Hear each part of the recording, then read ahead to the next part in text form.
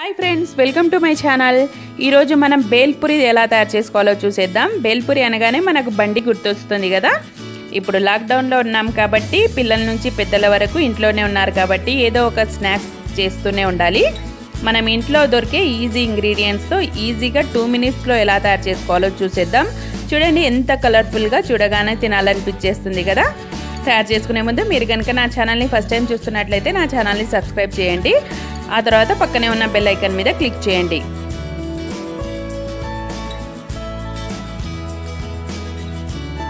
ముందుగా నేను one cup cornflakes తీసుకున్నాను. ఇక్కడ హాఫ్ కప్పు అటుకులు తీసుకున్నాను. కొన్ని పల్లీలు తీసుకున్నాను కొన్ని పుట్నాల పప్పు తీసుకున్నాను. వీటిని ఇప్పుడు డీప్ ఫ్రై చేసుకోవాలి. డీప్ ఫ్రై కోసం ఆయిల్ పెట్టుకున్నాను. ఆయిల్ హీట్ అవ్వగానే మనం కార్న్ఫ్లేక్స్ వేసేసి ఫ్రై చేసుకోవాలి. ఆయిల్ హీట్ అవ్వాలి బాగా లేకపోతే కార్న్ఫ్లేక్స్ గట్టిగా అవుతాయి. కార్న్ఫ్లేక్స్ ఫ్రై అయిపోయాక తీసేసి ఒక బౌల్లోకి వేసుకోవాలి. మనకు ఎక్కువ టైం ఏం పట్టదు కార్న్ఫ్లేక్స్కి కానీ అటుకులకు కానీ టైం ఏం పట్టదు. ఓన్లీ టూ మినిట్స్లో కూడా మనం అన్నీ రెడీ చేసుకోవచ్చు. ఇవి కూడా వేగిపోయాయి కదా తీసేసి ఒక బౌల్లోకి వేసుకోవాలి.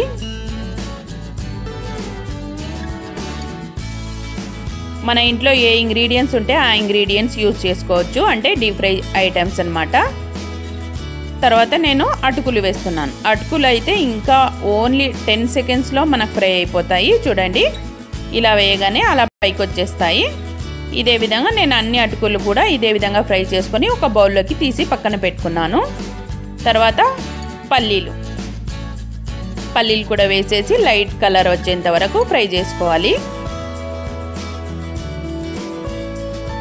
ఇవి కూడా తొందరగానే ఫ్రై అయిపోతాయి. ఇలా పల్లీల్ని కూడా తీసేసి ఒక బౌల్లోకి పక్కన పెట్టుకోవాలన్నమాట. తర్వాత చివరిగా నేను పుట్నాల పప్పు వేస్తున్నాను. పుట్నాల పప్పు కూడా ఫ్రై చేసేసి అదే బౌల్లోకి తీసి పక్కన పెట్టుకోవాలి. తర్వాత ఒక కడాయి పెట్టేసి అందులో వన్ టీ స్పూన్ ఆయిల్ వేసుకున్నాను. ఆయిల్ వేసుకున్న తర్వాత కొద్దిగా పసుపు వేసుకొని నేను ఇక్కడ టూ కప్స్ మరమరాలు తీసుకున్నాను. ఇవి వేసేసి లైట్గా ఫ్రై చేసుకోవాలి. అంటే వీటిని క్రంచీగా చేసుకోవాలన్నమాట. కొంచెం ఏమన్నా మెత్తగా ఉంటే ఈ విధంగా చేయడం వల్ల మనకు చాలా క్రంచీగా వస్తాయి. అప్పుడే మనకు బేల్పూరి చేసినప్పుడు మంచి టేస్ట్ వస్తుంది. ఈ విధంగా వన్ మినిట్ పాటు ఫ్రై చేసుకున్న తర్వాత ఒక బౌల్లోకి తీసి పక్కన పెట్టుకోవాలి. ఇక్కడ చూడండి నేను అన్నీ రెడీ చేసి పెట్టుకున్నాను. ఆనియన్స్ టమాటో కొత్తిమీర కూడా కట్ చేసి పెట్టుకున్నాను. ఇప్పుడు బేల్పూరి ఎలా మిక్స్ చేసుకోవాలో చూసేద్దాము. అన్నీ ప్రిపేర్ చేసి పెట్టుకున్న తర్వాత ఇప్పుడు మిక్సింగ్ ఎలా చేసుకోవాలో చూసేద్దాం. మిక్సింగ్ కోసం నేను ఒక పెద్ద బౌల్ తీసుకున్నాను. అందులో కార్న్ఫ్లేక్స్ వేస్తున్నాను. క్వాంటిటీ ఎక్కువ ఉన్నాయి కాబట్టి నేను హాఫ్ తీసుకుంటున్నాను. అలాగే ఇవి సైజులో కూడా కొంచెం పెద్ద పెద్దగా ఉన్నాయి. ఈ విధంగా నేను చేత్తో కొంచెం చిన్నగా చేసుకుంటున్నాను. తర్వాత మనం లైట్గా ఫ్రై చేసి పెట్టుకున్నాం కదా మరమరాలు వేసుకోవాలి. మరమరాలు వేసుకున్న తర్వాత వన్ బై వన్ మనం ఫ్రై చేసుకున్న ఐటమ్స్ అన్నీ వేసుకోవాలి. పల్లీలు పుట్నాల పప్పు ఇంకా అటుకులు కూడా ఫ్రై చేసి పెట్టుకున్నాం కదా వీటిని కూడా వేసేయాలి. తర్వాత మనం ఇక్కడ కట్ చేసి పెట్టుకున్నాను నేను ఆనియన్స్ టమాటో ముక్కలు కొత్తిమీర అవి కూడా వేసుకోవాలి. ఇక్కడ నేను ఆనియన్స్ వేస్తున్నాను.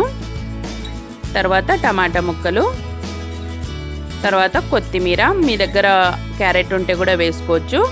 తర్వాత సరిపడినంత సాల్టు కొంచెం కారము కొంచెం చాట్ మసాలా కొంచెం బ్లాక్ సాల్ట్ కొంచెం గరం మసాలా. తర్వాత నిమ్మరసం కూడా వేసుకోవాలి. నేను పిల్లల కోసమని పచ్చిమిర్చి వేయట్లేదు. మీరు పెద్దలు తినే పని అయితే మీరు పచ్చిమిర్చి కూడా యాడ్ చేసుకోవచ్చు. చూడండి ఎంత కలర్ఫుల్గా కనిపిస్తుంది. అన్ని కలర్స్ మిక్స్ అయినట్టున్నాయి కదా టమాటో రెడ్ కలర్లో కొత్తిమీర గ్రీన్ కలర్లో ఎల్లో కార్న్ఫ్లేక్స్ ఆనియన్స్ వైట్ అన్ని కలర్స్ మిక్స్ అయిపోయాయి కదా. కావాలంటే ఇక్కడ మనం గ్రీన్ చట్నీ కానీ టామరిన్ చట్నీ కానీ టమాటో సాస్ కానీ కలుపుకోవచ్చు. నేను సింపుల్గా చూపిస్తున్నాను. మీకు ఇష్టమైతే అలా కూడా చేసుకోవచ్చు. ఒకసారి చేత్తో అన్నీ మిక్స్ చేసుకుంటే బాగా మిక్స్ అయిపోతాయి. చూడండి బేల్పూరి రెడీ అయిపోయింది. బేల్పూరి రెడీ అయిపోయింది కదా ఇప్పుడు ఒక సర్వింగ్ బౌల్లోకి తీసుకుందాము.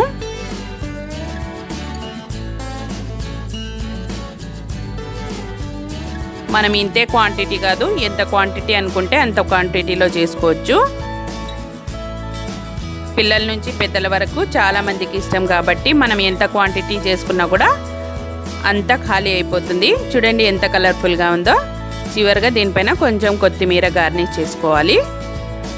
అంతే బేల్పూరి రెడీ అయిపోయింది. ఈ రెసిపీ కనుక మీకు నచ్చినట్లయితే లైక్ చేయండి షేర్ చేయండి. అలాగే మీరు కూడా తయారు చేసుకుని మీ ఫ్యామిలీ మెంబర్స్కి మీ పిల్లలకు పెట్టేసేయండి.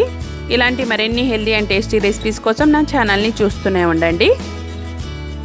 అలాగే నా ఛానల్ని ఎవరైనా కొత్తగా చూస్తున్నట్లయితే నా ఛానల్ని సబ్స్క్రైబ్ చేసుకోండి. తర్వాత పక్కనే ఉన్న బెల్ ఐకన్ మీద క్లిక్ చేయండి. Thanks for watching